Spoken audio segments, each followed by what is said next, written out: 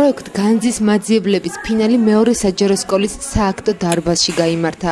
შეჯიბრი, რომელიც სტუდენტურ ახალგაზრდულმა სათათბირომ დააფინანსა და მასში უფროსი კლასის მოსწავლეები მონაწილეობდნენ, სანახავად მეტად საინტერესო გამოდგა. ინტელექტუალური თამაშის გამარჯვებული საკმაოდ დაძაბული ბრძოლის შემდეგ გამოვლინდა. შეჯიბრი, რომელიც მეორე საჯარო სკოლაში გამართა, რიგით პირველია. მალე სტუდენტურ ახალგაზრდულის სათათბიროს მიერ დაფინანსებული მომდევნო პროექტებიც ამოქმედდება.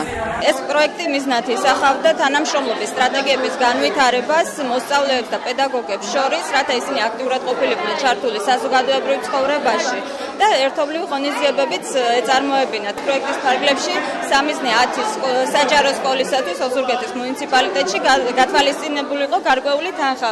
აი სამიზნე სკოლებმა წარმოადგენეს ეს შემო მათ მიერ შემუშავებული პროექტების შესაბამისად დაფინანსებაც მიიღეს ჩვენგან. ძალიან აქტიურად ჩაება ჩვენი მოსწავლეები სტუდენტთა სათათბიროს აი ამ პროექტში. მათ გაიარეს ტრენინგი პროექტების კეთებასთან დაკავშირებით და მთელი კვირის განმავლობაში აჟიტირებული იყო სკოლა მათ მიერ შედგენილი პროექტით, რომელსაც ერქვა განძის მაძიებლები და ეს ინტელექტუალურ განვითარებასაც გულისხმობდა და ფიქრობ რომ ეს ძალიან საინტერესო მიდგომა იყო.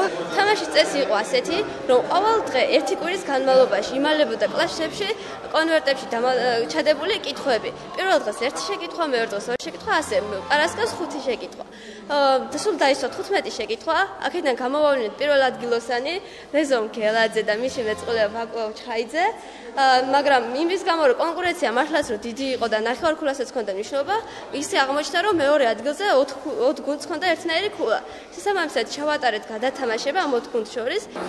არც ის რთული არ იყო, მაგრამ თავარი იყო გამჭრიახობა აქ და იმის უნარი რომ რა შეიძლება სწრაფად გაგეცა კითხვებზე პასუხი.